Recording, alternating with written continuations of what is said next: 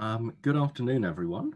Um, I'm just waiting for my uh, co-host, uh, Will, to um, check in, and then we'll be uh, kicking off a little after two o'clock. Um, if you have any questions, um, please drop them into the Q&A panel, um, and we'll be addressing all of those as a kind of uh, job lot at the end of the slides, when we'll also be joined by uh, Ben Peacock, who's a recent I believe Oxford law grad, um, who's going to be helping us with some of the more subject specific queries that I'm sure you've all brought to the table. Um, so I'm going to disappear onto mute for a little while um, and I'll rejoin you once Will is here and then we'll, uh, we'll kick things off.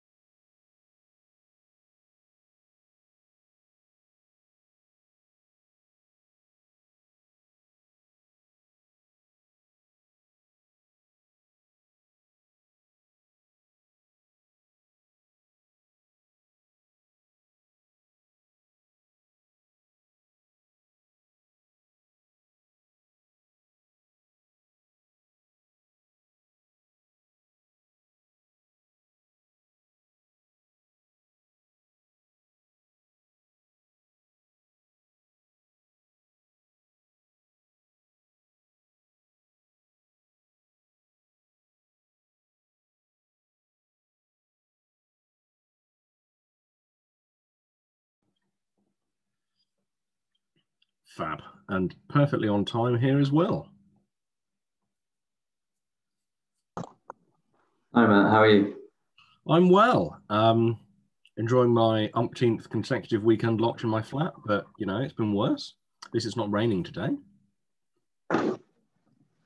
Yeah, good point. Yeah. And you know, it could be worse. We could live in Texas. Yeah, there's also, I don't know if you're a rugby man, but there's quite a big game on this afternoon.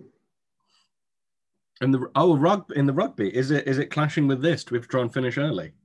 No, no, I think we'll be okay unless the Q and A lasts two hours, which I doubt it will. Oh well, that's a relief. no, well, I'm I'm not much of a rugby fan, but I always I always enjoy a, a good sporting contest. So if that's if that's what I can okay. I can tune in for, then perhaps that's what I'll be doing at, at four o'clock or five o'clock or whatever it is. Yeah, I think it's about half four. It's England Wales, I think. Oh. See, my dad's the rugby fan. Um, okay. When you've met me, I'm not. I'm not really rugby shaped. Turned out there wasn't a role uh, for short and slow. Um, I suppose there might be uh, in the pack, but also cowardly. Uh, short, slow, and cowardly. They weren't in. Cowardly won't help. Yeah. Fab. All right. Well, with that out of the way, um, I think we'll. I think we'll kick things off. Um, so, uh, thank you everyone for uh, joining us this week. Um, it's so nice to have um, people here when we when we do these, um, and we're yeah excited for the second week in a row to share with you our new our new slide templates, which are new and and slick and, and good looking. Um, this week we're going to be um, talking about um, applying to study law at Oxford and Cambridge. And we've got a, um, a law grad joining us for the Q&A, as I mentioned earlier. He'll be able to help with some of the, the finer points um, that Will or I are unaware of as non-lawyers. Um, and next week, we're going to be talking about um, applying to study PPE in economics, uh, the degree of prime ministers. So if you've been watching the news lately and um, thinking that you could do a better job, then you should join us next week for the, um, the lowdown on how to how to put yourself in that um, in that process. Um, if you want to be a prime minister, PPE at Christ Church seems to be the the highest correlate with prime minister success. I think there were the same number of prime ministers from Christ Church as from the whole of Cambridge, or something along those lines. Were, were uh, are any of your prime ministers good? Uh, Gladstone. Yeah. Okay. Fair. I, I spent a lot of uh, A level history learning about him, so he's always been a favourite of mine. Ah, well, there you go. If you if you feel you could do a better, better job than Boris Johnson, who I believe is classics at Magdalen, um, then this is your opportunity to find out about it. I don't know what Keir Starmer did. He has a he has an Oxford air about him. Um, I'll have to look that up later on. Um, but uh, I'd, I'd be shocked if he had if he wasn't an Oxford an Oxford chap. They they always are somehow. Uh, yes, Oh no, he went to Leeds. Oh God. Oh, well, that's that's made me think twice. Um, so, um, what Keir Starmer should have done uh, is apply to study law at Oxford um, or Cambridge, both good. Um, so we're going to be looking at that over the next um, 30 to 40 minutes. Um, I've broken this up into kind of three three areas. The first one, do you want to be a lawyer? It's a question worth asking before you become one. Once you've decided um, how you make a case for yourself in terms of the, uh, the application. Um, and last of all, I'm going to touch briefly on conversion courses um, for people who discover that they would like to be a lawyer, um, but a little bit later on. Um, now, I've not introduced you because I still haven't put back in that slide, um, which is throwing things off. And I think I'm going to have to reinsert it, Will. so before we proceed further, uh, Will, uh, remind us who you are and why it is that you're not a lawyer. Uh, yeah, hi everyone. Uh, my name is Will. I'm the lead consultant at Uni Admissions. Um, so I'm sort of run the team who speaks with students, speaks with parents, talks about applications and makes recommendations and gives guidance. Um, I'm, I would say I'm not a lawyer uh, because both my parents were lawyers and I saw the working hours associated. And I decided from a very early age that that wasn't something that, that I uh, fancy for myself. Um, but of course, there are lots of good reasons to be a lawyer. Um, I think I would have done a pretty good job of it actually. Uh, but yeah, it, it, was a bad experience from youth. so there you go. Um, my name is Matt. I look after our research here at Uni Admissions, um, which means that it's my job to make sure that everything uh, Will and the rest of the team advise the students and parents who talk to us is true, um, that we can back it up with graphs and data and things like that. Mm. And to continually improve on that as, as time goes on. Um, I'm not a lawyer, although I did think about it when I was at school. Um, uh, as it goes, I then lived with um, and was best man at my wedding, um, a very close friend of mine who is a is a criminal no a corporate um, corporate litigation barrister. Um, and if I had known how much money uh, you could be paid by being a lawyer, uh, maybe I would have become one. because goodness me, she makes a lot of money. Um, but we're going to come to touch on that in a moment, um, as uh, not everyone does. Um, so, uh, unlike me, maybe you want to be a lawyer. Hopefully, you do, um, which is why you're here. Um, so, why might you want to be a lawyer? Um, the first thing to say is there are a vast range of career paths open to lawyers, probably the most of any degree you can do. Um, for example, if you decide that you want to study English, it is very difficult to subsequently become an engineer. Um, however, if you are a lawyer, the opportunities to go and work in almost any kind of company are there for you because pretty much every company needs lawyers. Um, even the mafia has lawyers. Everyone needs them. Um, and that goes for whether you decide to work in the private sector or in the public sector. Um, there are huge opportunities in the civil service for lawyers, um, as well as going into teaching. So law is a really good option if you're not sure what you want to do after you graduate, um, but you want to get a really good degree. Um, as we just mentioned, my friend who is a corporate litigation barrister and has been making six figures since she was 26, uh, upsetting um, for me at least. I, I, don't earn that much. Um, you can earn a phenomenal amount of money um, as a lawyer. Um, you can also, if you choose, not earn very much money. My friend is a corporate litigation barrister. She makes lots of money. Um, you can also become a human rights barrister or a criminal barrister. Um, and in these instances, you won't make all that much money at all, as criminals, for the most part, don't have very much money. Uh, human rights, also not very much money in it. Um, and there are other areas of law that you can go into that um, are not as well remunerated as others. Um, Will talked a little bit about the, um, the incredible working hours. Now, I, I, don't know if your parents are both barristers, Will, or whether they're. Um... Yes, um, one's a family law QC and the other's a clinical negligence barrister. Well, there you go. Um, of course, if they wanted um, if they wanted quieter lives, they could have become conveyancing solicitors or something else that's um, more of a nine to five. Mm. Uh, there's a whole range of options in the um, in the legal profession. It's not all as not all as um, intensive as being a QC. Um, and the other thing is that you can you can get a lot of social prestige from being a lawyer. Um, people trust lawyers. Um, lawyers are allowed to sign all kinds of documents. There Passports. are, yeah, you can sign for a passport if you're a lawyer. Um, uh, people will take you seriously. You can go on to become a judge. There are all sorts of things you can do um, in terms of people respecting you and taking you seriously. Um, alongside doctors, doctors and lawyers, those are the two jobs that um, parents dream of their children taking up.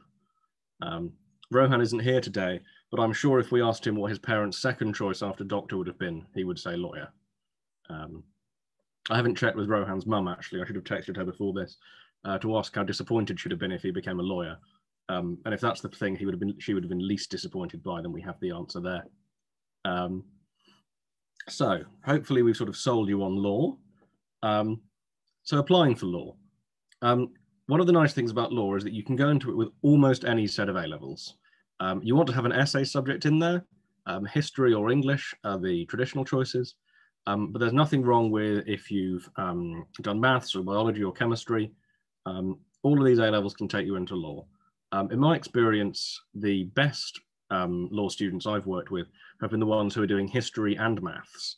and so they've got a really broad range of experience they're bringing to what they're doing.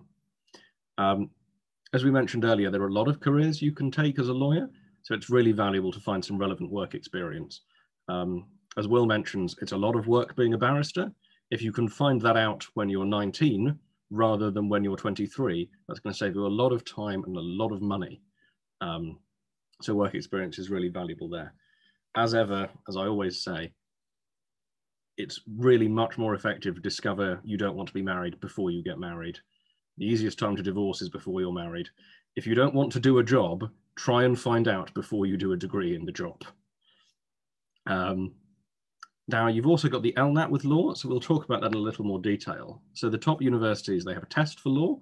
It's called the LNAT, uh, the Law National Admissions Test. Um, it's relatively tricky, um, and so it really pays off to prepare early for it because the LNAT, and this leads into what we were talking about with A levels, really is um, a test of skills, not a test of knowledge. And this goes for law in general. Um, if you show up to law school knowing nothing about the law at all, that will be fine as long as you have the critical and reasoning skills. Um, if you show up knowing, knowing loads of stuff, um, but not having those skills, you're going to find it really difficult and it's not going to work for you. Um, and that's why preparing for the LNAT in advance is really valuable because you can make a real difference to your score there. And it's a really big part of um, how particularly Oxford uh, will assess you. Um, speaking of how things are assessed, Will, I'm going to throw over to you to um, talk us through the pie chart uh, while I uh, go and find out what that um, uh, delivery noise that's just come to my door was. Yeah, thanks, Matt. Um, so we usually talk about this each week, um, and that's because it's important for people who, you know, this the, the first or only open day that you're planning on coming to is quite an important takeaway to have, um, because there's often a lot of misunderstanding as to what is the most important thing in your application. Um, and this should hopefully demystify things a little bit. And, and actually, this this is, is dynamic too. So this has changed recently, um, and I'll explain what about what's changed. When it comes to an Oxbridge application, um, there are generally three very key things uh, which they are looking at. Your academic record so far, so your GCSEs, uh, your predicted grades, your A levels if you have them, um, any any uh, academic uh, portfolio you have so far. Um, your admissions test score, so that is the LNAT uh, or the CLT if you're a Cambridge applicant, uh, and the interview. Um, that's understandably very, very important to them. That little yellow section which says everything else, that comprises of your personal statement, your uh, reference letters, often written by your school, um, and any other kind of intangible benefits that don't slot into interview uh, or, or, academics nice uh, easily. Um, when it comes to Oxford and Cambridge, those do have to be relevant. So being grade eight piano, sadly, is not a benefit to your application. Uh, if, if, anything, it's going to take up time that you should be spending elsewhere. Um, but as you can see, the admissions test score and the interview, they take up the majority of this decision. Um, they, they are enormously influential. Very often people think it's all to do with your grades and your personal statements, but that's only a small segment. Um, and actually, exam grades they used to be they used to take up a slightly bigger chunk in this, but as uh, exams have been sat less and less these last couple of years, we've seen a shift towards weighting on the uh, on, on the admissions test and the interviews. Um, so this is very very important information to have when you're thinking about your application. But what what what do you do with it? Well, the key thing to do with it is to help it, let it inform how you prepare. So if you're setting yourself aside time every week to work on your application, if 90% of that time is spent on the personal statement, then you're doing it wrong. Okay. You want to make sure that you're spending your time where where it is going to make the most difference. All right. Now, obviously, once your LNAT is at 100%, once your CLT essays are perfect, then you can start, you know, you can shift a bit more time to the personal statements. But every bonus you can make, every incremental bonus you can make in the test or in your interview performance is going to far outweigh any incremental improvement in the personal statements. Doesn't mean we neglect the personal statement because you want your application to be as strong as possible across everything.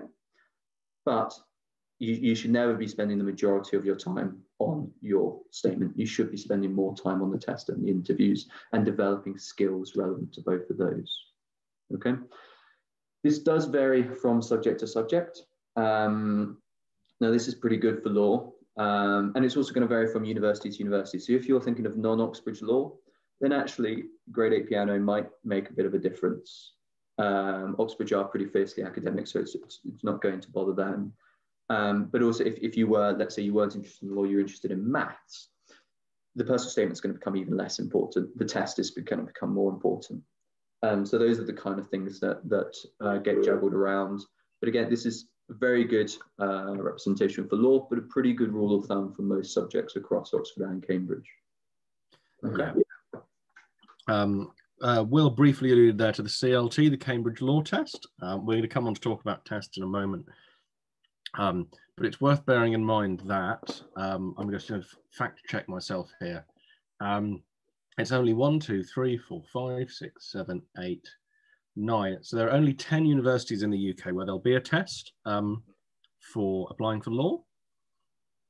Um, and so, um, as with applying for medicine, it's a good idea to get a balance of um, LNAT and non-LNAT universities uh, when you come to apply to make sure that you've got a, a backup option if the LNAT doesn't go brilliantly for you.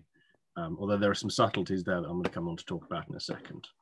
Um, so let's do that. Um, you'll see I put in a pun. Uh, I'm calling this next section a making a case for yourself, like a lawyer would have a case. It's very clever. Um, so the LNAT, how does the LNAT work? Um, the LNAT is 42 uh, verbal reasoning.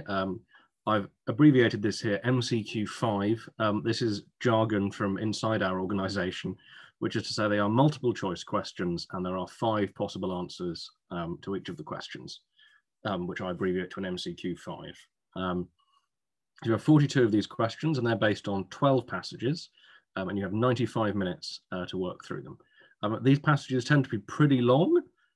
Will's going to help us work through a uh, condensed example in a moment um, but they're normally 300 words or so. So you're reading quite a lot of text in 90, 95 minutes plus answering quite a lot of questions. So it, it's pretty time pressured, the LNAT, um, which people don't always realize.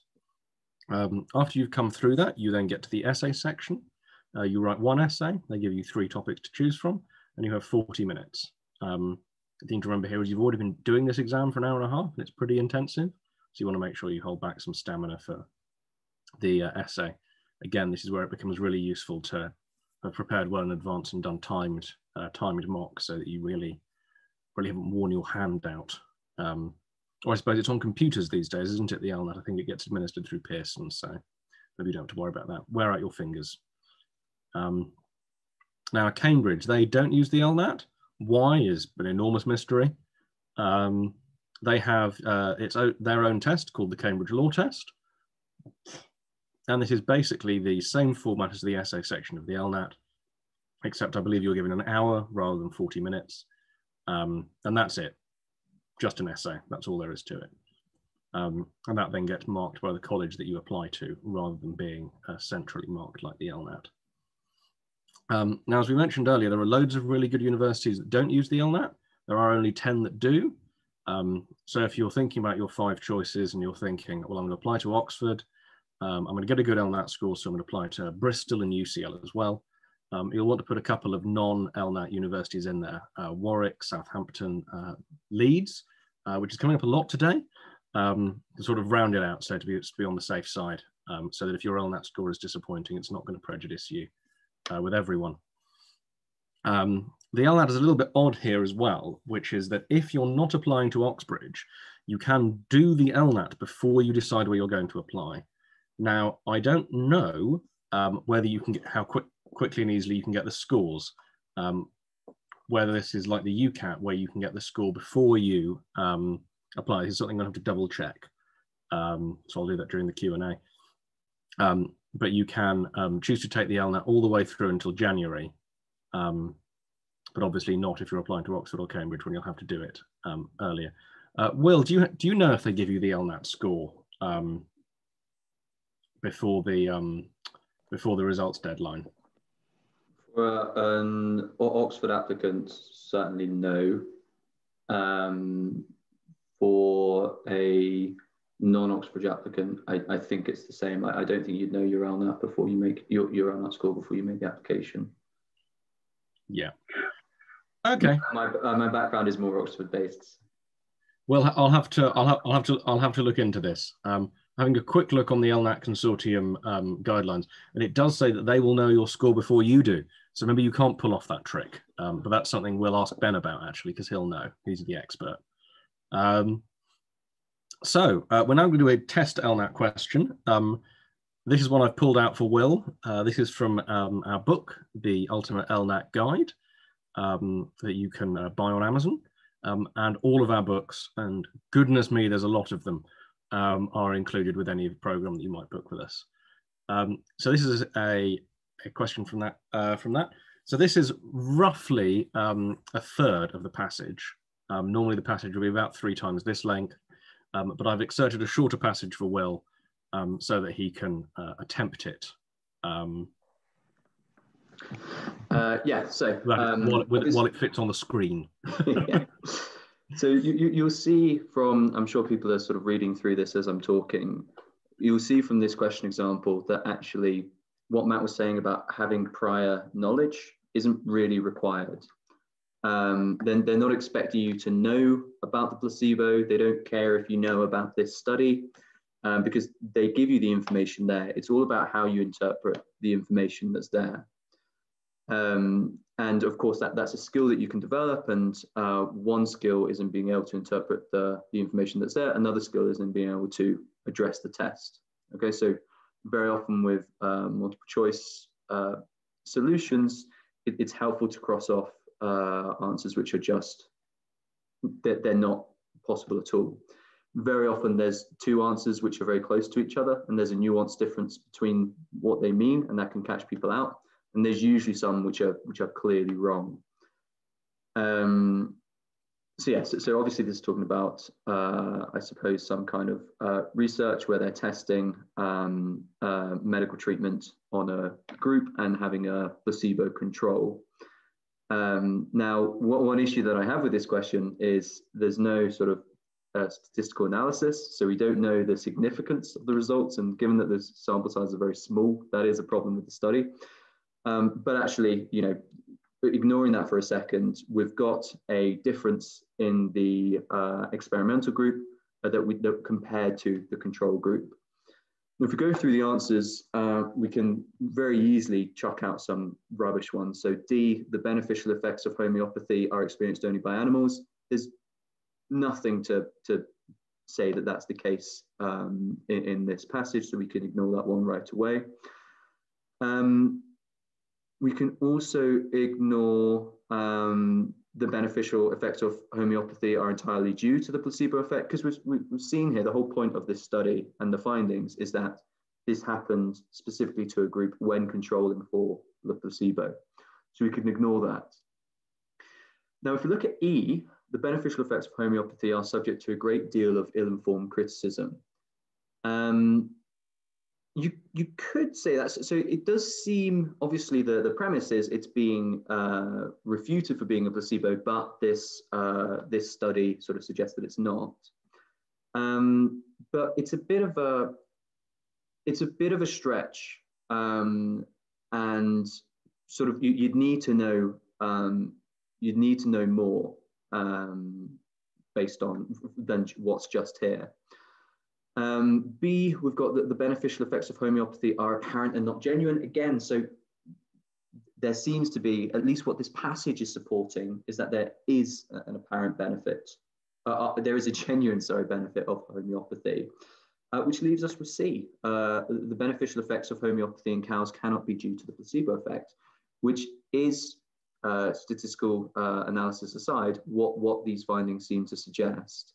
Um, and of course, you, you might be drawn to E, um, but actually that's probably not supported nearly as sufficiently as C is, but based on this information alone. Okay. Again, you know, it, it's it's you don't have to have known. You're not going to come into this test and think, oh gosh, I don't know about the placebo. I'm not going to be able to get this one right. You can work it out if you if you've developed the skills and practice that. Fab. Thanks, Will. You'll be pleased to know that the answer is indeed C. Um, so well done. Uh, you have passed you. the, the LNAT test. Um, as Will said, there are there are a lot of red herrings you find in this kind of question. Um, you will expect that you need to know about homeopathy, about the placebo effect, about the kind of cows that you have in this particular part of um, northern Holland. Uh, no, none of this information is relevant. In fact, um, one of the ways they'll catch you out in verbal reasoning questions of this type is that they will give you um, a subject that you already know about. Um, and so you will um, over conclude by remember by using your own knowledge rather than the information in the text. Um, so you've got to you've got to watch out for that. Um, so we're now going to talk um, about the next section of the LNAT, the essay. Um, so afterward, after the uh, reasoning questions, you'll have an essay. these are on very broad legal and ethical topics. They will not ask you a really specific question about some question of constitutional law or um, a detailed individual case. It'll be very broad strokes questions. Because um, again, this isn't about having legal knowledge. This is about making a good, clear, coherent argument. Um, again, skills, not knowledge. So the, the example that um, I've pulled, this is from the um, Cambridge Law Test. Uh, it's one of their sample questions they provide. Um, they ask, should a drug dealer ever be punished for the death of someone who overdoses on drugs that she has supplied? Um, so issues you might explore here, you might talk about the um, question of consequences. You know, overdosing, is that something that is on the dealer or is that on the user? Um, what if the drugs have been contaminated? What if they've been contaminated on purpose? What about by accident? Um, are the problems that a drug dealer would experience with the law sufficient already? Um, why doesn't isn't deterrence working? Uh, Will, where, where do you stand on the drug dealer? So, yeah, I, I, suppose it's sort of linked. Your opinion is going to be linked to your politics in terms of um, sort of like personal freedoms. Um, my, uh, you know, not going into it in too much detail, but I, I would say that it's the individual's choice and right to seek out drugs. And they've obviously done that with the understanding that there's a risk associated.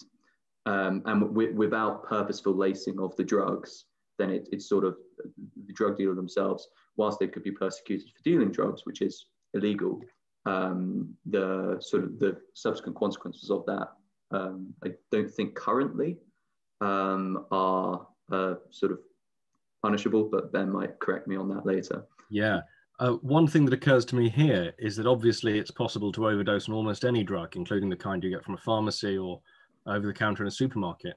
And so we might contrast this question with a question um, should a doctor uh, ever be punished for the death of someone who overdoses on prescription drugs that they have supplied? Now, it would seem ludicrous um, for the doctor to be prosecuted for someone overdosing on paracetamol.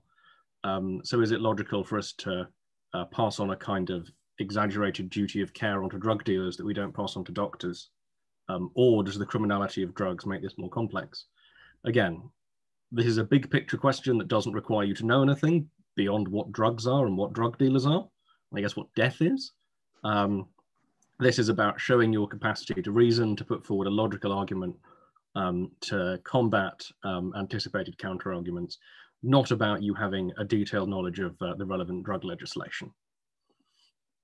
Um, that brings us on to think about the interview because you've done the test, you've done marvelously. Um, the three criteria that um, uh, this is from the Oxford Admissions Manual they highlight when talking about interviews is uh, they want to see application, um, they want to see that you can concentrate, that you can really get into a problem. They want to see that you can uh, reason your way through it, put together an argument that is clear and serious. And if you end up down a kind of blind alley or digging yourself into a hole, that you can get out of it. Um, and they want all of this to be articulated in a clear and careful and articulate way. Um, Will, do you have anything to add on, on interviews before we move on to conversion courses? Um, just a general point that I often make about wider reading, and people have probably heard this before.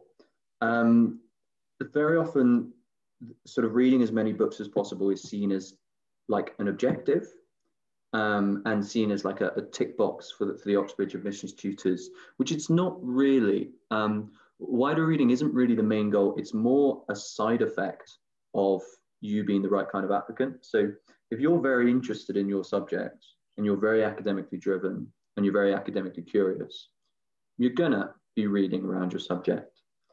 Um, and you're also going to be reading quite thoughtfully, um, you know, having your own opinions, writing notes about what you've read, um, maybe sort of disagreeing with what you've read. And, that's something which is, is going to come across quite well in the interview. Just blasting through as many books as you can is often something that I see. And it's really not going to help. Um, you know, they're, they're not going to be sat there thinking, well, this interview hasn't gone very well, but he has read 10 books on law, so he's probably qualified. That, that's not what they're interested in the fact that you've read 10 books on law should come across in the interview naturally. Um, but more than that, you should be interacting with these books on a, on a thoughtful level rather than just seeing them as, a, as an objective to, or a tick box to complete. Um, and I suppose you know that that is associated with the application there, and they want to see your interaction with the text that you've been engaging with. They, they don't want to just hear you regurgitate. You know, I read X, it said this. Um, they want to see that you've engaged with it on, on a thoughtful level. Fab. Uh, thanks, Will. Um, we've dealt with interviews quite briefly here. Um, there's a good reason for this, which is that the interviews are in November and December, and it's presently February. Um, if you stick with us through to interview season, um, we'll be dealing with all of this in much more detail. Um, but we're really trying to give people a broad overview as they're planning out their UCAS application in the early stages at the moment. So the last thing to talk about is conversion courses. Um, a lot of people, including me, um, uh, consider becoming lawyers uh, after they finish their degree and discover that your uh, even your first in comparative literature uh, doesn't lead to an obvious job. Um, now you have the option at this point to go and become a lawyer uh, through what's called a conversion course. Now um, these conversion courses are very popular, um, as I say, among students who've done a, a useless humanities uh, degree and want to go and do something proper afterwards. Um, and the nice thing about these is that the university you choose for the conversion, uh, which is called the GDL, the Graduate Diploma in Law, um, is much less important than where you went for your undergrad. Um, as I mentioned earlier, my, my close personal friend who is a um, commercial litigation barrister, um, she also sits on the Bar Council. Um, and the official view of the Bar Council is we don't care where you do your GDL, whatever. Um, so you can go to the University of Law in London, you can go to the University of Bournemouth in Bournemouth. Um, all of them are fine. Um, you still end up a lawyer at the end of it. Now, if you've done the GDL or you've already done that law degree, um, often you'll need to go and do a secondary qualification. Um, this is an area where Ben is going to be able to help us out in a moment. Um, if you want to be a solicitor, you're going to have to go and do the solicitor's course. If you want to be a barrister, you have to sit the bar exam. Um, doing a law degree is a good start, um, but for many legal professions, there's a subsequent professional qualification you want to follow on with. Um, so if you're thinking you can get it all done in three years, unfortunately, the bad news is it could be four or five. Um, but again, that's that's where Ben's the expert. Um, so that brings us on to the um, what we can do, the bit where uh, Will lays out how we can help. Will, how can we help uh, get you to be a lawyer? It's a very good question, Matt. Thank you for asking. Um, so look, obviously we've been talking about all the different things that matter in the application process, all the different things that Oxford and Cambridge are going to be assessing you on. But but also, you know, if it's not Oxbridge, maybe uh, Durham Law, they're, they're still going to have the LNAT, so that's still a part that you're being assessed on. Um, generally speaking, our approach is to tailor our support to the individuals that come our way. Uh, different students require different things based on their circumstances and their scenario. Um, so the first thing to say is there's sort of a, a process that we do um, where uh, we want to speak with all our students first, really understand them, understand where they're coming from, um, and we'll be able to design the most suitable program. But broadly speaking, they normally consist of four, four key parts. Um, and I can't remember which part these slides start with. Matt, can you click onto the next? Okay, yeah, resources. So um, the four key parts are tutorials, uh, resources, weekly seminars, and intensive courses. And I'll just spend a bit of time explaining each one briefly. Um, so naturally, something like the LNAT it requires a lot of practice. Yes, you'll have a tutor to support you with it, but actually a tutor is not a substitute for hard work. Um, and you are going to have to be working uh, a lot on doing practice essays, practicing those, uh, you know, the, the, responses to those passages. So we design textbooks for the LNAT. We've got an online preparation platform for it. We do, um, you know, uh, essay marking for the LNAT and for the CLT, all outside of the tutorial. So you can be working away on everything. Uh, at the same time, there are books for the personal statement, book for the interviews, book about, there's a book about choosing your colleges within Oxford or Cambridge. So pretty much every step of the way, you're going to have something to refer to, to use, and to guide you in this process. Um, and yeah, the, the preparation portal is something very specific to the test. I think, do we still have a, uh, a clip of that Right? We have a clip. The bad news is um, I haven't re-edited the clip, so it does okay. show you how to do math. quick clip. Um, but as we, oh, I say those of you who were here last week will know the clip is very quick. Uh, so Will, hopefully you've practiced. I'll, I'll speak double time. Yeah. So, so the, the, the portal is sort of split into three main bits.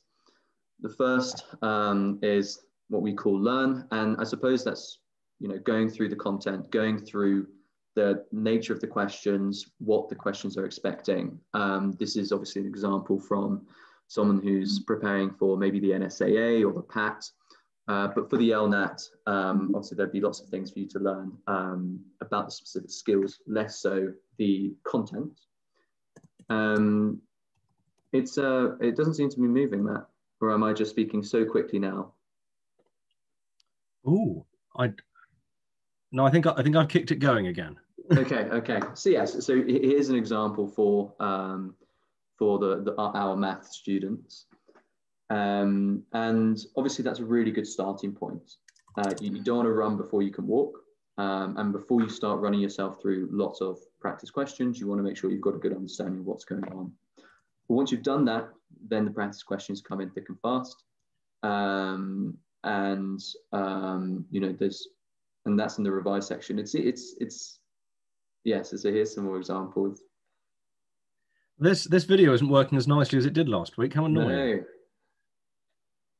Um, but yeah, and, and, obviously it's quite helpful doing it virtually because you've got a good track of how you're doing and how you're improving, um, as well as a little timer up there so you know if you're taking too long or if, if, if time is something that you need to work on. Um, so you do lots of practice questions, and then once you're, you know, got a really firm understanding of everything, you then start doing some full papers. Um, we've got lots of past papers as well as specimen papers um, for you to work through. Um, and of course, this is the best way to assess how well you are doing in a full test scenario. Uh, and you'll be working with this through the year, improving, um, you know, working on uh, getting better at both sections of the test. But also, you know, when there are things, obviously, when there are subtle things, easy things to work on, you can. But when there are more difficult things, more conceptual things that you're struggling with in the test, then of course you've got your tutor to turn to who can help you learn and understand where you're going wrong uh, which hopefully brings us through to the next slide. It can do. But it doesn't. So actually, I'm so, sorry. So, um, this is the other part, our enrichment seminars. Um, so, so these run pretty much every Sunday afternoon. There'll be about 75 to 90 minutes, depending on discussion and, uh, and questions. Uh, but they cover a very broad range of uh, topics at, at, the university level on law. So uh, anyone worried that they might have to go to seminars for students of other subjects, you won't. Uh, then there are five streams that we run concurrently on a Sunday afternoon. One for medicine, one for STEM, one for humanities, one for economics, and one for law. Um, now, we said that with the LNAT, they're not really looking for prior knowledge. So you going to these seminars uh, isn't really going to make an enormous difference to uh, your LNAT um, because you'll be learning about lots of different things in law. You'll be delving deeply into specific areas that you're interested in. Um, but this is really, really relevant to personal statement and the interviews. Firstly, are in terms of you know being able to demonstrate to them that you are engaged with your topic, helping you explore law is, is so important. But also getting into that academic environment on a weekly basis, discussing advanced topics, posing questions, uh, maybe posing some bad questions to start with, but eventually getting the sense for what is a good question, how to explore things more, means that by the end of the year, you'll come to that interview, you know, very comfortable in a very natural scenario for you. Um, and yeah, th- th- there's a huge range of topics. Not all of them will be on areas that you are interested in, but the point is for the ones that you are interested in, you can delve into those much, you know, deeper and deeper uh, and as much as you want. And, and we give reading uh, suggestions for each for each seminar topic. Uh, uh, thanks, Will. Um, that brings us on to the uh, question of the day courses. Um, so if you um, do choose yeah. to join us on one of our programs, um, one of the things that we offer is um, at the moment they're online, but I, I, remain hopeful we'll get to you know be in the physical world with one another again soon. Onto the day courses we offer. These are um, exclusive to our program customers, and that's a full weekend um, at the moment of um, uh, preparation. Well, we've we both worked on these. How did you you enjoy administering them? Yeah, so they were fun to do when it was in person, um, and there were obviously some difficulties doing things online compared to um, doing them in person. So Matt was talking about doing a full weekend. We, we do that for the interviews intensive course um, because actually when you've got different students needing to go to different things, it does take a little longer when they're all at home and you've got to try and cajole them into different uh, meeting rooms. Um, but yeah, look, it, these are there. But obviously, as an individual, you're going to be working through the resources, working with your tutor, working in the enrichment seminars gradually through the year. These are there to really round off your preparation, to consolidate all the work you've been doing. You know, you go to an intensive course for the LNAT just a few weeks before the real thing. So you can see how everyone else is doing. You can learn from their experiences and you can learn with them on the day you can address every part of the test and make sure that you're happy and confident. Uh, and you can walk into it a couple weeks later, knowing that you are prepared, knowing that you've done everything you're supposed to be doing. Um, if you go to the course and you come out of it thinking, actually, you know, I found a couple of those passages pretty, uh, pretty dense, pretty tricky to read through. Um, that's not quite where I want it to be. You've got those last few weeks to iron out any any final creases that are that are sticking out. Yeah. Um, we also provide uh, one-to-one tuition. Um, so for all of the advantages of these resources, um, we will match you with a tutor who is um, studying the subject um, at the university that you're planning to attend. Um, they'll be able to give you that personal attention, really uh, focus on the areas that you're weak in, amplify the areas that you're strong, and you'll also be able to have a, a set of interviews with um, different tutors so that you can really experience the um, experience what the interview is going to be like ahead of time um, which I think is in many respects the, the most valuable thing. It's certainly what I fell down on in my application to Oxford. Um, now, we also make sure that um, all of this is reported. So those of you who are parents who are joining us today, um, you receive a PDF um, lesson report after every um, every lesson, laying out what your um, child has been working on, where they've done well, where they've done uh, less well, what areas that you can support them in, and just making sure that you know what they're up to. As as, as I know from my experience of teenagers, If you ask them how things were, they go, fine. And that's it. Uh, so you got a lovely PDF, uh, which says more than fine in it, which can be really helpful. Um, so, Will, uh, does it work? Does all of this work? Um, so yeah, I mean, we're we're finding out. I don't know where things are on the research for this last round of uh, entrants, but but we are, we are gathering data. I'm hoping to have it in a few weeks' time. Uh, so stay tuned. Okay, okay. So so last year, um, generally speaking, we were pretty happy with uh, the number of our students that got offers.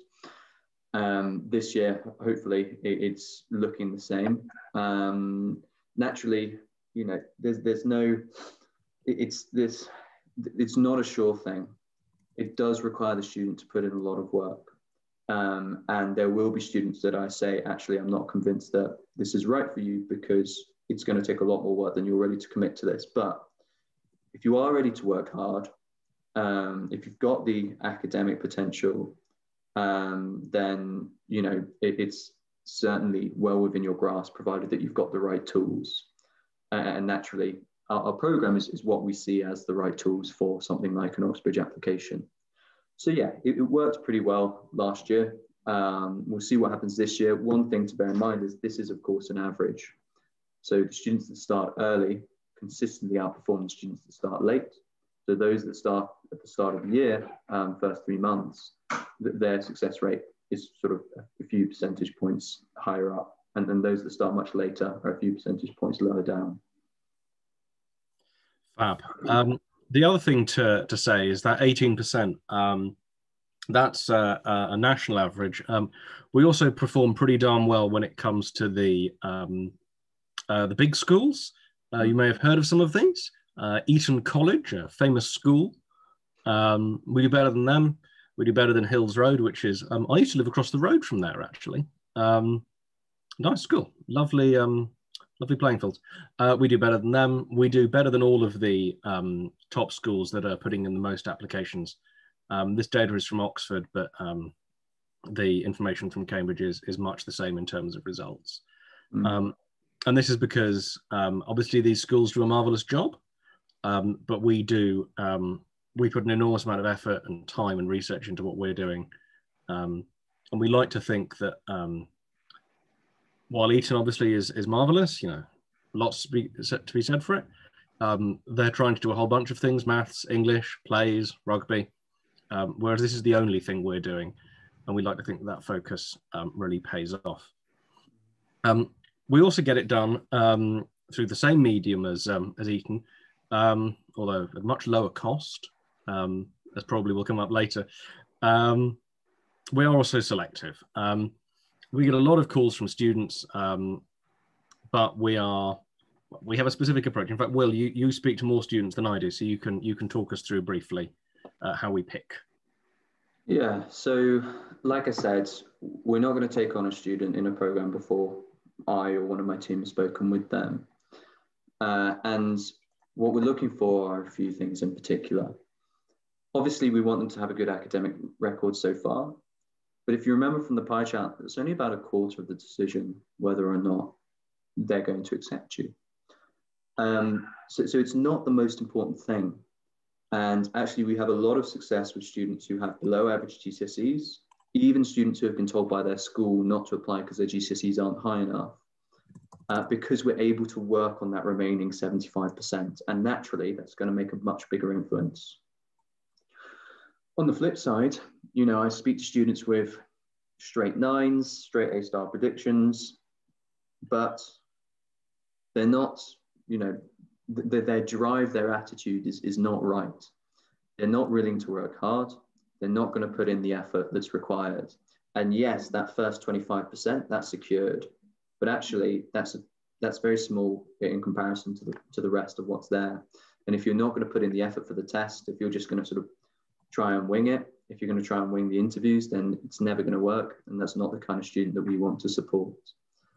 Um, so yeah, uh, obviously grades do matter. If, if your grades are so low that they're prohibitive to actually getting an offer, then I don't want to waste someone's time and give them false hope.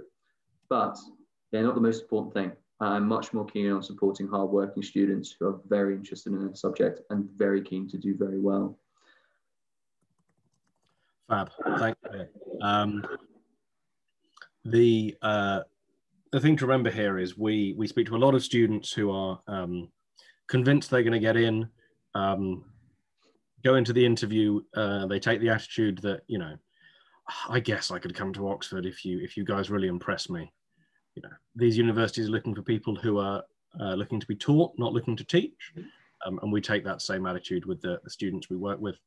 Um, that level of commitment Will talked about. Um, we try to um, reflect this to what we call our student honor code, um, which means that we make students accountable for their own learning. Um, we need to make sure that they take, make the resource it, the best of all the resources we provide for them, um, and so that they, you know, treat their tutors with respect, so they can focus on the teaching, not chasing them up via, via WhatsApp or email to make sure they show up to the lessons. Um, again, this is all part of our process of uh, picking people on the basis of attitude, not aptitude. Um, you might be smart enough to do it without us. Um, you might feel that you're not smart enough to do it at all. Um, but if you've got the right attitude, that's what we want to work with, not with people who um, think they've already they already know everything. Um, it doesn't tend to pay off for them. Um, our tutors don't like working with them, um, and if that's if that's the you know the attitude you bring into this, then that's fine. probably won't be for us, and you, we won't be for you. Now, people have lovely things to say about us on Trustpilot.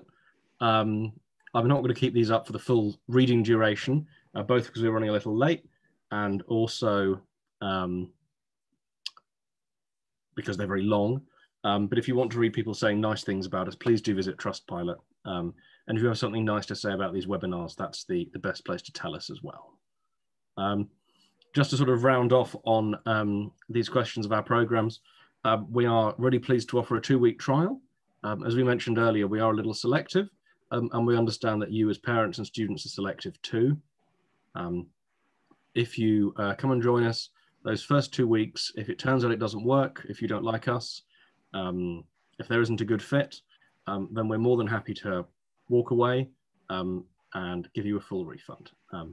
this is part of ensuring we have a good match between the parent, the student, the tutor, the program, the whole thing. Um, we don't want to work with students who don't want to work with us. We don't want to force anyone to do anything. Um, if you don't want to be a lawyer, uh, we don't want to spend a year trying to force you because your mum thinks you should be. Um, that's happened to a friend of mine. Um, we want to give you that peace of mind, and that's what the two-week trial is all about. Um, now, probably you'll have more detailed questions um, about your personal circumstances. Now, we're going to answer a bunch of those in the Q&A. Uh, so please do drop your uh, questions into the Q&A panel. Um, but if you want one-to-one attention of the kind that we cannot offer uh, in the webinar format, um, please uh, get in touch with us by booking a consultation. Uh, this little animation should be showing you how it's done um, at this very moment. Um, and you can do that um, right now or indeed later to um, get in touch with us and book a consultation with Will or Dylan or will two, um, a, a whole selection of our expert consultants will be able to help you out. Fab. So that, that brings us to the Q&A. So I'm going to um, introduce Ben. Uh, ben is our, is our guest, our honoured guest today. Uh, but Ben, beyond honoured guest, who are you? Why are you here? Okay, good question. Why am I here? Just shorten that to why, can't we? Um, anyway, uh, yeah, my name's Ben. Uh, I, studied law at Oxford from 2014 to 2018. Uh, otherwise, I have tutored now for about six years. I've worked for the University of Oxford um, in admissions and access work specifically. Um, in terms of my CV, uh, I have spent a lot of time on this kind of work. Um, part of that, I've been working with um, UniAdmissions now for a good while, uh, about a year and a half. Um, working with students as their personal tutor, but also um, delivering a variety of different panel events, um, all sorts of bits and bobs. Um, so uh, that is why I am here. I will also apologise for the fact that I desperately need a haircut. Sorry. no, I I'm suffering from the same problem. This is this is the longest my hair has been in some time uh, which may not look much to the rest of you, uh, but when it's this thin, it having grown all the way out to a number four, uh, it, it, doesn't look great uh, up close. Uh, certainly not from the side, which has been a problem. Um, so we've got a few questions coming in already. Um, so uh, Gajendra Reddy asks, how can we help um, Scottish students in particular? Um, because obviously they have different laws up there, uh, Scots law. Um, so, Will, um, do we have any? I'm sure we have experience with getting people into Edinburgh and Aberdeen and all those sorts of places, Glasgow. Um, could you offer some thoughts there? And Ben, if you can uh, chip in on what's uh, what Scots law is. Um, I only know the only thing I know about it is they have a third outcome uh, in trials, which is exciting. Uh, but Will, if you could start us off. Yeah, yeah, sure. So um, naturally, uh, a couple of the uh, Scottish universities require the LNAT. Um, so we often have a few students each year who are making applications that way. Um, and, uh, you know, generally speaking, they, they approach the LNAT quite similarly to how uh, other students do too. Um, so other other universities do too. Sorry. So, so obviously the, the, approach is the same. Have a prepare well for the LNAT. Have a fantastic score. Um, you know, impress them with your personal statement. Unlikely to have an interview, uh, so there isn't that side of things. But absolutely, the other the parts of the application which are required, we, we can certainly help you with. Yeah, um, I suppose in terms of what's been said, especially by Matt, um, I think the big thing to flag with the way that legal systems work in England and Wales slash Scotland and also slash Northern Ireland is we have an English and Welsh legal system. Then we have a separate Scottish one which means if you want to practice law and do a qualifying law degree as part of your route to qualification, you will need to do an English or Welsh LLB. Whereas if you want to practice in Scotland, you'll need to do one up in Scotland. That said, uh, the route to qualification uh, mentioned briefly before, but you, can still convert. So even if you did do your degree in Scotland and then decided that you wanted to practice in England and Wales, you can qualify to become somebody who practices in uh, England and Wales. So it's not too much of a concern. Um, otherwise, uh, Scottish heritage means I back it, do it. yes, as a, as a, little nuance on this, Ben, can can you tell us what not um, how not proven works? Because I've always been intrigued by this. Right. Okay. Um, got to be honest, my legal training is in the English and Welsh system. Um, my knowledge of this is coming from a program that I watched with David Tennant in it. Um, however, um, my understanding of that is essentially you can have um, um, not guilty or an acquitted. So that is where there is proof, there is clear evidence that you have not committed that crime. Um, guilty, well, we all know what that means. and then the, the not proven is essentially a situation where they cannot and will not send you to prison because they haven't got enough evidence. Um, however, they're also not willing to say that you are fully acquitted because they do not have the evidence to say that you did not do it. So that is limited amount of knowledge I have on that. So there you go. Um, if you're thinking of doing a crime in Scotland, the bad news is the options are he done it, he didn't do it, and he probably done it, but we can't prove it. So, you know, make sure you cover your tracks well if you're doing any crimes in Scotland. Um, fab. Uh, da, da, da, um, Angelina Ang asks, um, for applications to Oxbridge, is it important to have a strong CV? Is it necessary to engage in many extra extracurricular, extracurricular activities? Um, or can I just focus on my academics? Um, Will, I know you've got the official answer, and then hopefully Ben can um, fill in with his personal experience here and, and your personal experience too, Will. Um, yeah, so generally speaking, uh, the, the, personal statement and well, so let's talk about extracurriculars first.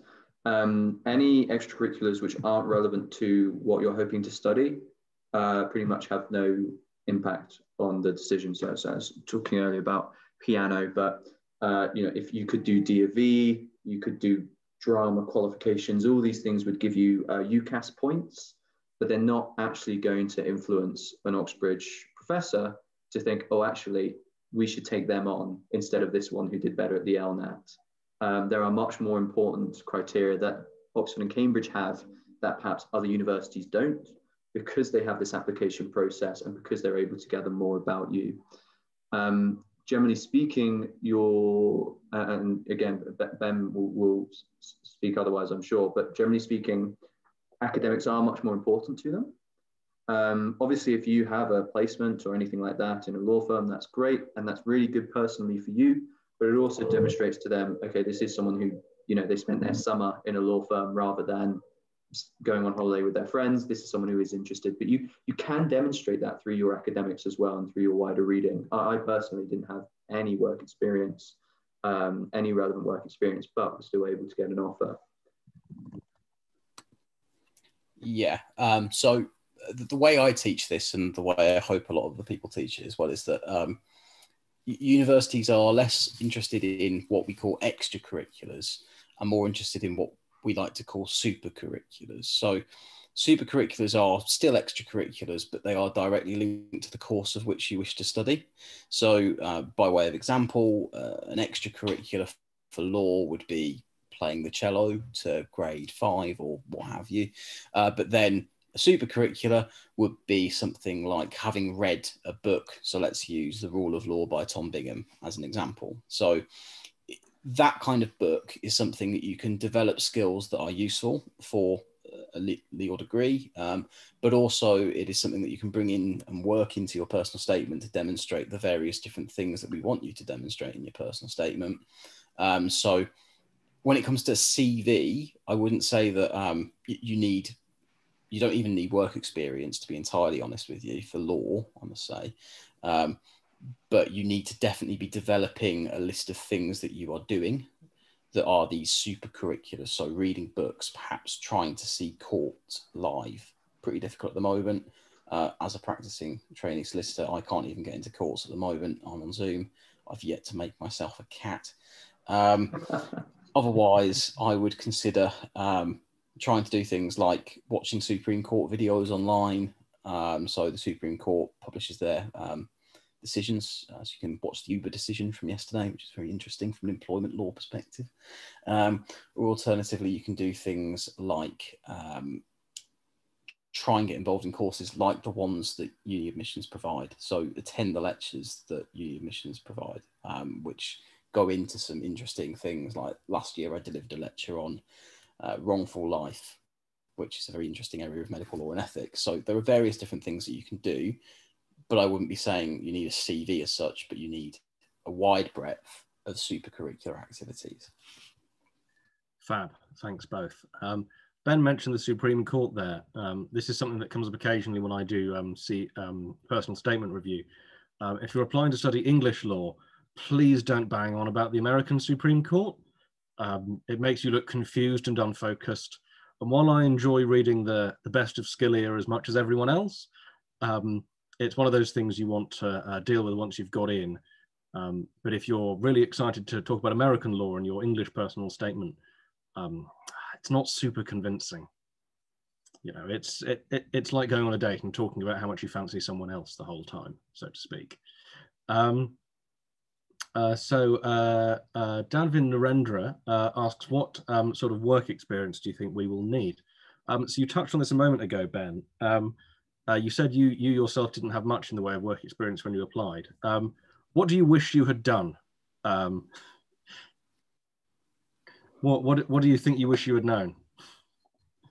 And what and what do people what do people you've um, you've been at university with or, or on the uh, the solicitors program with? What have they done that you sort of envy? Okay, so I think the first thing to say for applications to university is it's not like a medicine degree. Um, you don't need law, legal work experience. Yes, it's useful, but you don't need it. That will definitely be even more the case. And uh, I know from my friends who work in Oxford admissions, at least, they are taking into consideration over the next however long the various different impacts of COVID. And one of those is going to be that you're not going to get in person work experience. It's completely unfair to expect that. Um, so you shouldn't need to worry about that. Um, however, um, if you can get work experience, by all means do. I managed to get a week or two, it was two weeks at a, um, a criminal firm in the west coast of Cumbria. Absolutely thrilling stories of next to nothing. Um, however, um, still things that you can get involved in and understand the systems. Um, in terms of stuff that I wish I'd done before, um, I went to uni. I wish, to be honest, I got involved in more programs that told me what studying at university was going to be like, um, and tried to do some courses that you know educated me in how I need to learn, how I learn best, because they're really underestimated benefits that if you can quite clearly demonstrate how you learn, that is going to help you for your A levels, but it's also going to help you throughout your degree. And that's something that I didn't really have a proper understanding of when I went to uni. I spent a long time trying to desperately work out how I learned. Um, so that's a fun one. Uh, otherwise, when you then get to university, so thinking about long term, trying to get a job and work experience, that's where things do become more important. Um, that said, firms have specific programs. They have first year springboard programs, which you can get involved in. They have, um, after that, open days. They then have vacation schemes. So I was very lucky to get a vacation scheme at the end of my second year, which I then got offered a training contract from. Um, when you get to university, you'll have societies, the Law Society for the university that you go to, that will be able to support you and help you truly understand how you can make the most of those opportunities. But I definitely say the need for law work experience comes later than at the point of application, which I understand most of you are at. So do not worry too much. Thanks, Ben. Um, as I mentioned earlier, I think this was probably before you were on the call, Ben. Um, I'm always a big fan of work experience for students for the simple reason that the best time to get divorced is before you get married. Um, it's not a good idea to spend five years training to become a barrister only to discover that you don't want to be a barrister. It's a bad idea to spend years of your life uh, training to do something only to discover you don't want to do it. Um, the easiest way to avoid this is to try it out first. Um, seek out work experience regardless of what um, level it's at, uh, whether the firm is prestigious, whether um, you think it's going to look great on your CV. Um, you're going to be working for an awfully long time, um, probably 40 to 50 years of your life. Um, it's a good idea to start trying out the stuff you do and don't like as early as you can, um, because there's nothing more miserable than having a job you hate, uh, which fortunately I don't. I quite like this job. Um, but you know, I'm 31. It's taken me a little while to get here. If I had done work experience, perhaps I'd have got it quicker. You know, Will did. Maybe that was the value of work experience for him. Um, so Maya Norse, I hope I'm pronouncing that right, Maya, uh, asks, do we have experience with getting people into Irish universities such as Trinity? Can I practice in the UK afterwards?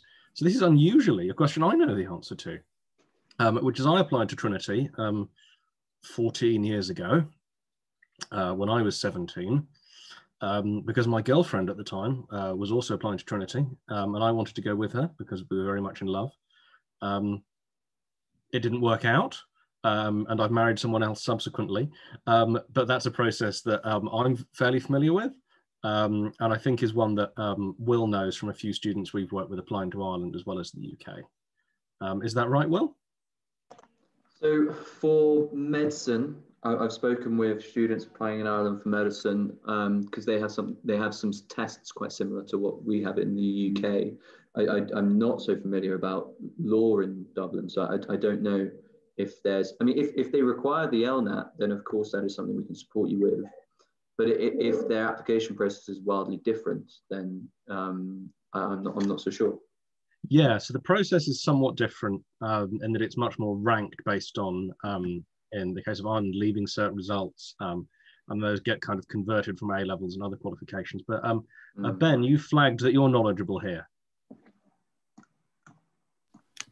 Interesting, um, knowledgeable. Yeah. Um, the comment that I was going to add was on the second part of the question. So, um, in terms of qualifying to then practice in the UK, um, again, this is very much like if you were in Scotland, the situation there. So, you would qualify and be a qualified um, solicitor or barrister at whatever stage you got to in Ireland, uh, specifically Republic of, um, but then you would be able to transfer across the United Kingdom. Um, but again, you would need to do a course quite like the LPC including the GDL. Um, so I know that Matt and Will mentioned this briefly before um, in terms of um, the route to becoming a solicitor and the whole do a law degree if you want to, don't do a law degree if you don't want to. Um, that very much is still something that is a very good message. The only thing that's slightly changing somewhat is that the courses are changing from the GDL and um, the LPC in the case of becoming a solicitor to um, a law master's, quite like the GDL, and then a super exam, so the solicitor qualifying exam, which is being run by the SRA and being phased in from this year. Um, the point is, though, when it comes back to Ireland, is um, if you wanted to do that law degree in Ireland, it would almost be like doing a non-legal degree in England and Wales, which you would then do the top-up degree in the English and Welsh system, followed by the solicitor qualification exam. So it doesn't mean that you can't practice in the UK. It just means you've got one extra hurdle to jump over, which a lot of law firms will help fund and get you through in any case. Yeah. Um, again, oh, Matt, sorry. is it okay if I have a question for Ben? Uh, uh, sure, go ahead. So, so um, I was thinking about this while you were talking, Ben, because so in medicine, uh, there's sort of the, if you have a medical degree in the UK, that's a relatively strong degree and is more you can more or less then study any you can then practice anywhere maybe with a short course to, to convert or something like that.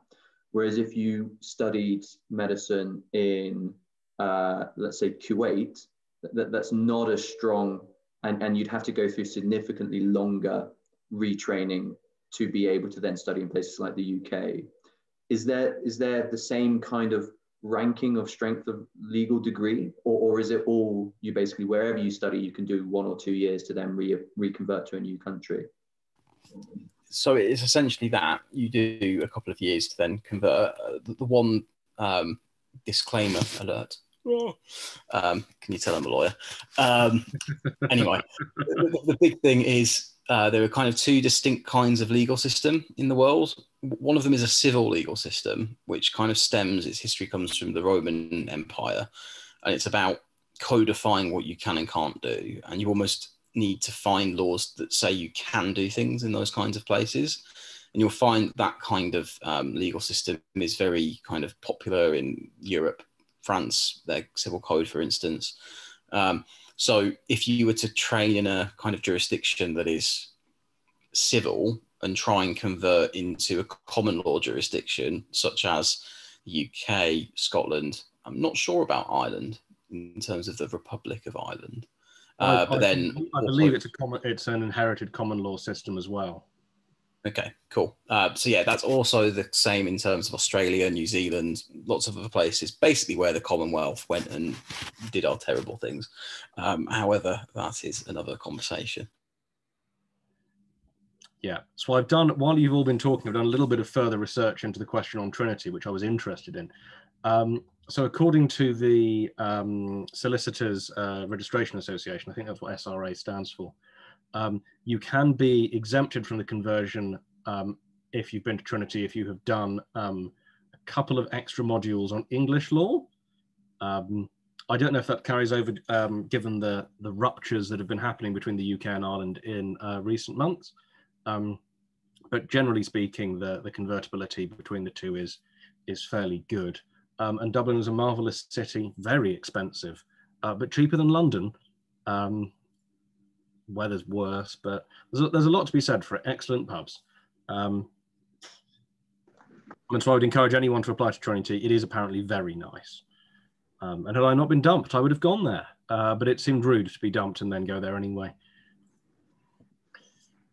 Um, there are, Matt, there are a couple of questions about sort of costs of the course that we offer. Yeah. Um, and there's also something about it work supporting international students.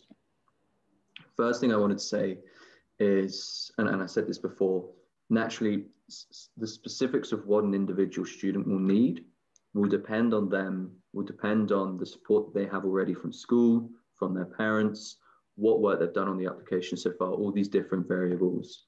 So actually the, the, the program that I would recommend for an individual uh, can vary quite a lot.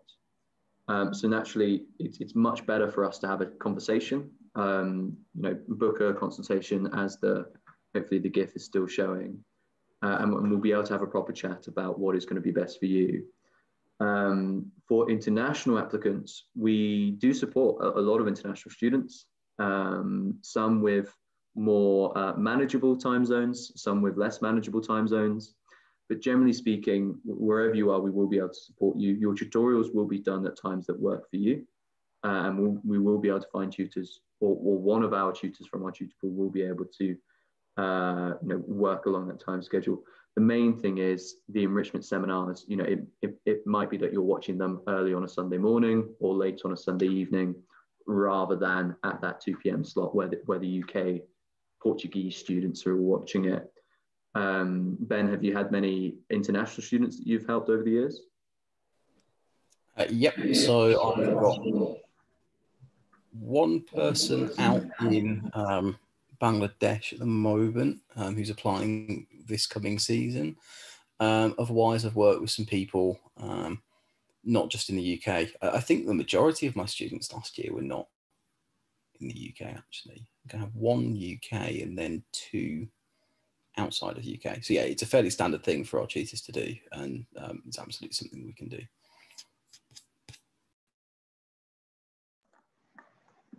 Okay, we're actually, I mean, so we've, we've we're out of questions at the moment. So if anyone sat there uh, wondering about anything yeah. about law, certainly worth please, sending across a question yeah, for Ben. Please, please do come in. We're paying Ben good money to be here, and if he doesn't have anything to do, oh, scandalous! I'll be I'll be really annoyed. Um, I'll have to make him talk to me for, for 20 minutes for money. Um, um, so where does that leave us? Um, so questions that we were sort of expecting to be asked. Uh, Will, can you talk us to, to, us a little bit about the um, differences between the LNAT and the Cambridge Law Test? Yeah, yeah. Um, so the CLT, uh, obviously the, the LNAT has two parts, the sort of multiple choice section and then the essays. Uh, the CLT is effectively just that second part. Um, so naturally, there's you know different things to be preparing for. Um, and one other difference is the, the LNAT you'd usually sit a couple of months before your interview, um, also probably before you send off your application. Um, whereas the CLT, uh, you'd usually sit it pretty much on the day of your interview. Um, so before last year, students would go to Oxford or Cambridge for their interviews. They'd stay there for a few days, um, you know, go to hall and, and, and, enjoy the experience and have the very, very stressful interviews as part of that. And you'd do the CLT then. This last year, when things were done, uh, when interviews were done virtually, uh, the CLT was, I think, sort of four or five days before the actual interview. So it was slightly before, um, but not like the LNAT, which is well in advance.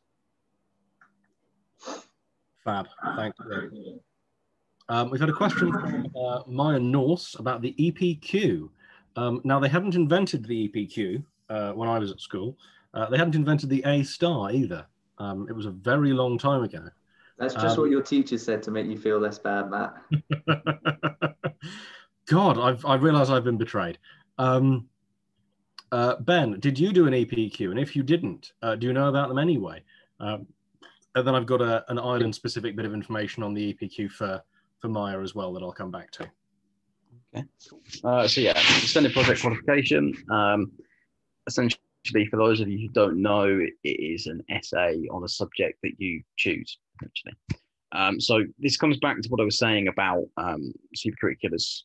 This is an example of a supercurricular if you are doing an essay that is legally based. So it's a fantastic thing to do if you want to talk about it on your personal statement. Uh, it can certainly help prompt some early questions in interviews in certain circumstances. So you might mention that you've done an EPQ on, um, I don't know, uh, supported one student recently who had done her EPQ on um, rights for women giving birth in prison, um, which is an interesting topic and one that she was able to work into her personal statement. Um, so essentially, they are morsels for discussion in interview, but they can also be really useful for personal statement. And it also, again, genuinely shows you are interested in law because that's what you're doing the EPQ for. So yeah, it's definitely something that is useful, um, particularly if it's legally based.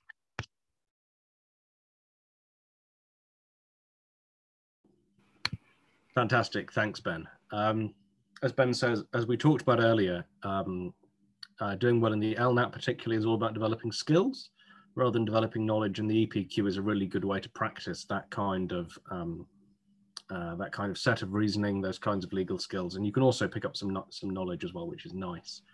Um, um, on the question of Ireland, because I, I, believe it was you, Mai, who asked about it earlier. This is where I, I fact check myself and look silly. Um, no, it was you. Excellent.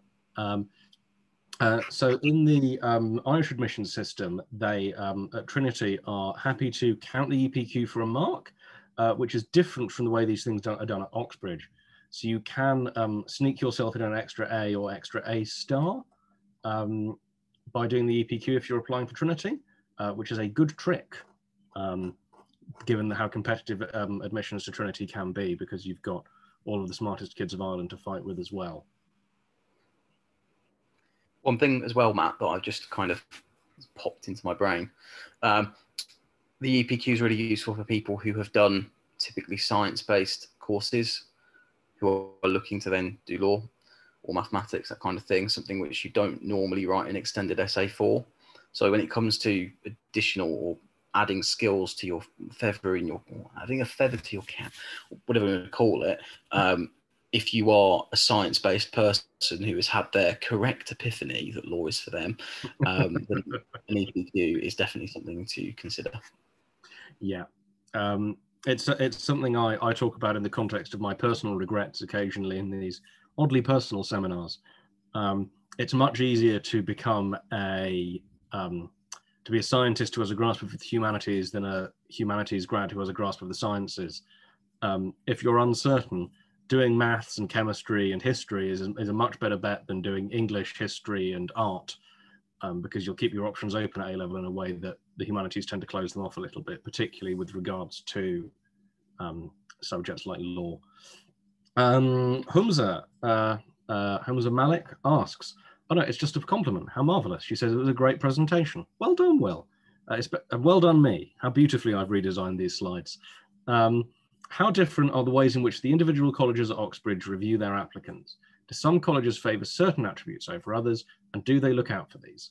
Um, so, Will, you'll have some views, uh, I'm sure, and Ben, if you can follow up from Will.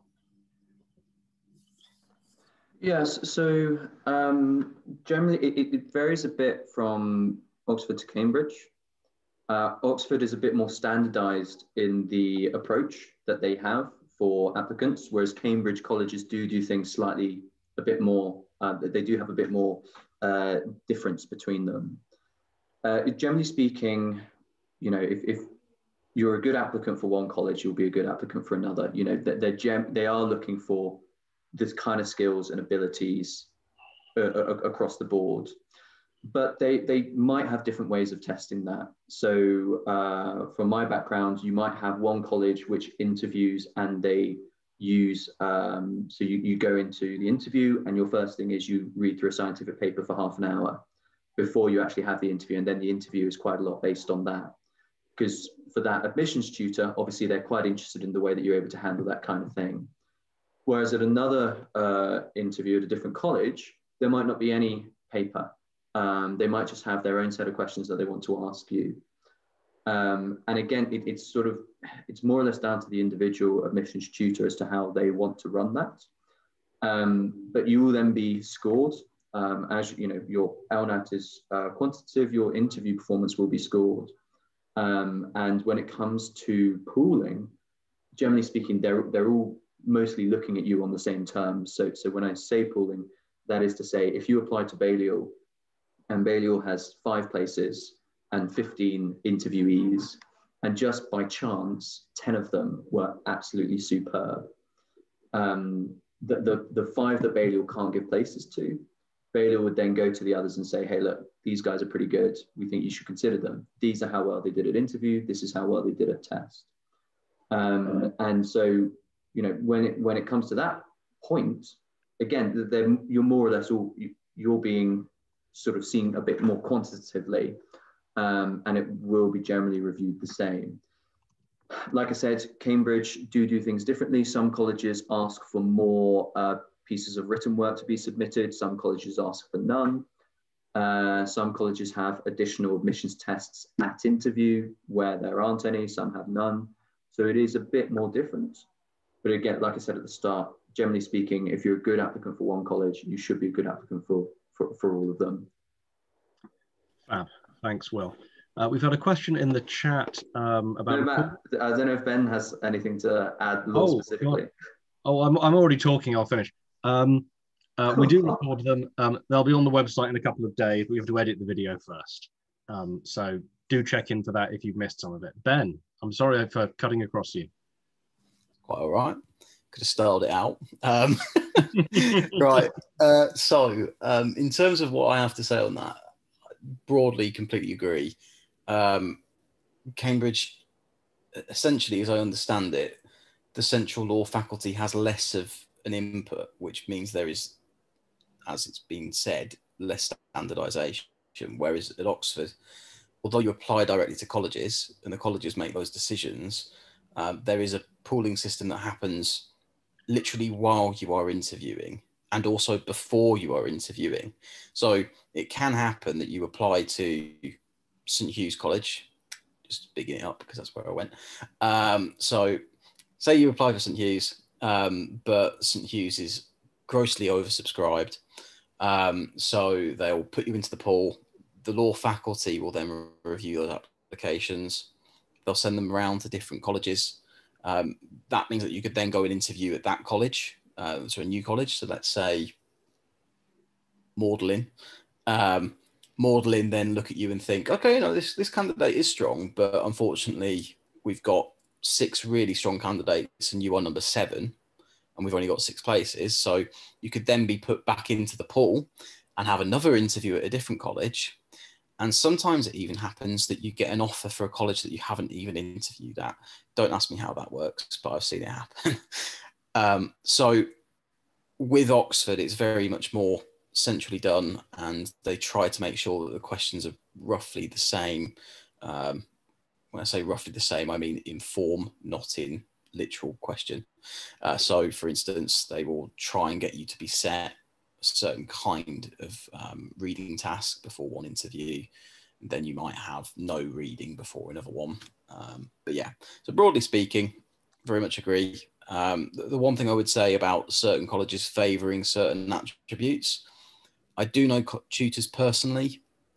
I do know that some of them prefer certain characteristics of people, um, but they are not the important things that tutors are looking for. They'll only kind of go down to, oh, I like this one. He was a bit more, or she was a bit more um, defensive in their opinion. Um, that might just be something that one tutor likes, whereas another tutor would be annoyed that you were sticking to your gun so much. So, uh, to be honest, I wouldn't overthink that. I would just be you and do your very best. Wow. Um, we're um, not running out of time, but we are running out of questions. Um, so please drop some more questions in. Um, otherwise, um, I'm going to ask Ben uh, what it is that he was expecting to be asked that uh, we didn't ask him. And I'm going to drop in uh, my favorite part of the week, which is polling people on the vaccine um, because it makes me feel warm inside.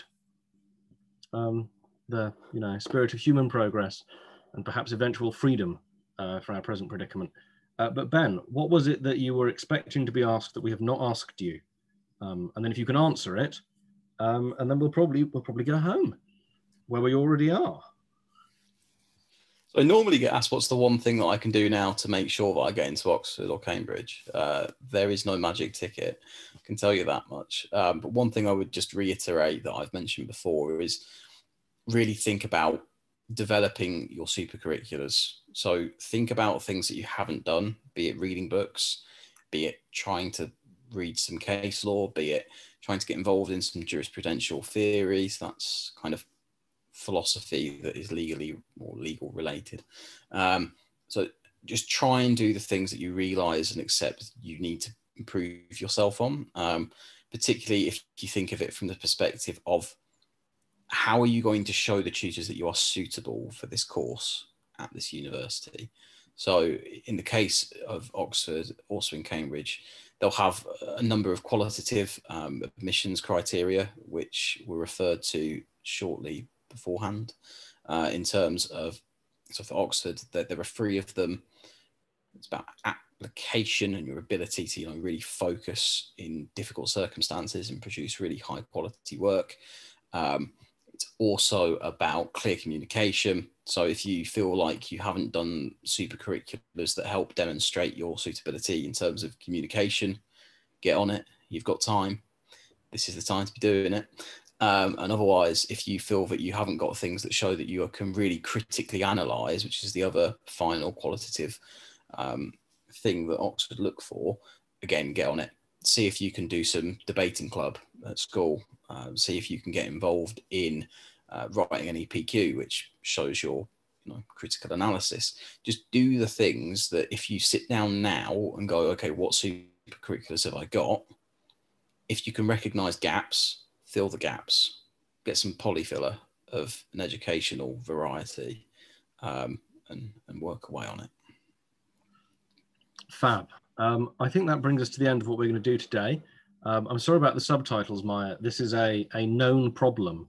Um, they work for me, but for no one else um, because I'm the host. It's, it's, it's frustrating. Um, we're looking into a solution, but as yet we haven't found it. Um, but thank you everyone for coming along. the good news is that we've got very nice news on the vaccine um, almost everyone has um, knows at least five people who've had it. Some people have had it themselves, uh, and there was only one person who didn't know anyone who had had it. Um, I hope that the people you know uh, get hold of the vaccine soon, or uh, you ask, because in theory there should be some. Um, or you're in a part of the world where it's less widely available, in which case we we look forward to it being distributed to you uh, through the Gavi and the COVAX schemes. Um, so as I say, that brings us to the end. Um, first of all, uh, thank you, Ben. Uh, you're getting away with with a whole 15 minutes of, of not having to do any work for money. Uh, you must be delighted. Yeah, brilliant. I can go and see whether the red card that's just been given correctly because it was for West Brom. Um, so it doesn't really matter whether it was right or not. Uh, is correct. So Fab. Well, I'm do that now. I say I'm looking forward to seeing what new depths of um, of mediocrity Bournemouth are exploring. Um, but goodbye, Ben. Um, Will, uh, say goodbye as well, please. Yeah, bye everyone. Thanks for coming along. Thanks for your time, Ben. Have a great weekend. No problem. Have a good weekend, folks. Bye, guys. Yeah, have a lovely weekend. And um, please join us again next week when we'll be talking about applying to study PPE and economics, the degrees of prime ministers. Um, have a lovely weekend. It's goodbye from me as well.